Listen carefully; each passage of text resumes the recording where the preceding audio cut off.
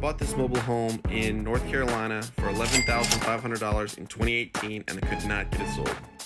It was a three bed, two bath, and it was on a couple acres, so it wasn't a bad deal, but for whatever reason, I couldn't get it moved. Maybe it was because of this. Or maybe this had something to do with it, I don't know. I finally ended up selling it owner financed. I let the lady put down $4,000 and then she paid me $700 a month for three years. So we sold it for about $30,000. Just last month, she made the last payment and I signed the title over to her. Check out what Zillow says it's worth now. There was no way this lady could have qualified for a loan, so it was pretty cool that she now owns her own property, she got it fixed up, and I moved her property and made a profit on it too. Want to learn creative financing in real estate how to do your own deal? Listen to my podcast or join my free Facebook group. Check out my Linktree in my profile.